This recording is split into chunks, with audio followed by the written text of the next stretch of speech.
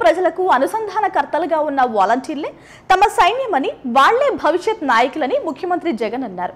గుంటూరు జిల్లా ఫిరంగిపురంలో జరిగిన వాలంటీర్ల అభినందన సభలో సీఎం వాళ్ళ పనితీరును మెచ్చుకున్నారు.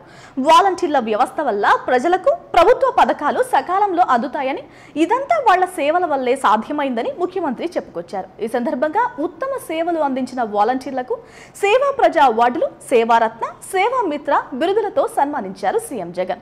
నగదు బహుమతులు కూడా అందజేశారు. వాలంటీర్. ప్రస్తుతం ఆంధ్రప్రదేశ్ రాష్ట్రంలో బాగా డిమాండ్ ఉన్న వ్యక్తి. వాలంటీర్ అంటే ముఖ్యమంత్రి జగన్ కూడా చాలా ఇష్టమైన మనిషి. ఒక్కో వాలంటీర్ ఒక్కో వారియర్లా ఏపీలో పనిచేస్తున్నారు. ప్రభుత్వానికి ప్రజలకు మధ్య అనుసంధానకర్తలుగా వాలంటీర్లు చేస్తున్న సేవలు అన్లిమిటెడ్. ప్రభుత్వ పథకాన్ని ప్రజలకు చేర్చడంలో వీళ్ళ పాత్ర మహోన్నతమైనది. అందుకే సీఎం జగన్ వాలంటీర్లను ప్రత్యేకంగా చూస్తారు గౌరవిస్తారు. అవార్డులతో సత్కరిస్తారు.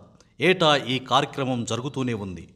గుంటూరు జిల్లా ఫిరంగిపురంలో ఏర్పాటు చేసిన వాలంటీర్ల అభినందన సభలో ముఖ్యమంత్రి జగన్ అనేక విషయాలు చెప్పారు. మన వ్యవస్థల ద్వారా ప్రతి గ్రామంలో స్కూళ్ళు ఆసుపత్రులు మారాయన్నారు. సూర్యుడు ఉదయించకముందే వాలంటీర్లు ఇంటి తలుపు తట్టి పెన్షన్ అందిస్తున్నారు.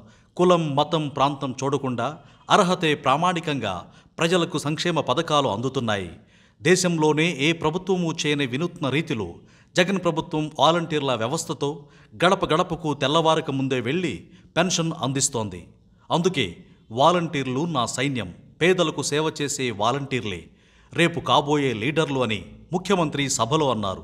వాలంటీర్లే తన పాలనకు బ్రాండ్ అంబాసిడర్లని వాలంటీర్ల సేవలను గర్విస్తూ సెల్యూట్ చేస్తున్నానని చెప్పారు. ఈ సందర్భంగా ఎనిమిది వందల డెబ్బై ఐదు మంది వాలంటీర్లకు సేవా వజ్ర అవార్డులు నాలుగు వేల నూట యాభై మంది సేవారత్న అవార్డులతో గౌరవం రెండు లక్షల యాభై వేల నాలుగు వందల ముప్పై తొమ్మిది మందికి సేవా మిత్ర అవార్డులతో సన్మానం. రెండు లక్షల యాభై ఐదు వేల నాలుగు వందల అరవై నాలుగు మంది వాలంటీర్లకు అభివందనలతో నగదు బహుమతులను అందజేశారు. ఇది ఏపీ వాలంటీర్ వ్యవస్థలోని వారియర్స్ టీం వర్క్ ఒక్క మాటలో చెప్పాలంటే ఏపీ ప్రభుత్వ హయాంలో ఒక్కో వాలంటీర్ ఒక్కో బాహుబలి అన్నమాట ప్లీజ్ సబ్స్క్రైబ్ డాట్ న్యూస్